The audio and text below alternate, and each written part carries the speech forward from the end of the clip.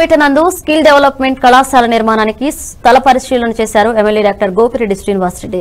ఆంధ్రప్రదేశ్ నైపుణ్యాభివృద్ధి సంస్థ చైర్మన్ చల్లా మధుసూదన్ రెడ్డి అధికారులు లింగంగుంట్ల ఎన్ఎస్పీ కాలనీ వద్ద రాజు గృహకల్పకు ఆనుకుని ఉన్న మూడు ఎకరాల స్థలం నిర్మాణానికి పరిశీలించారు.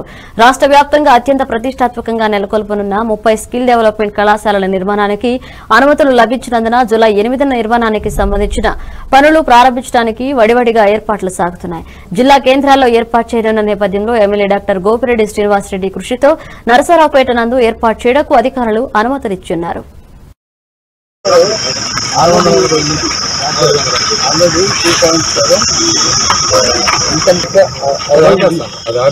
అదే ఇది. దీని తర్వాత ఎక్స్టెన్షన్ ఎంత కావాలంటే ఎన్ఎస్పీ వాళ్ళు పిలిపించి అవి నేను ఎస్సీ గారితో మాట్లాడే రెడ్డి గారు ఉన్నది అది అది కూడా కాదు చెప్పాల్సినది అందుకే మనకు లిమిట్స్లోకి వెళ్ళాలి కొద్దిగా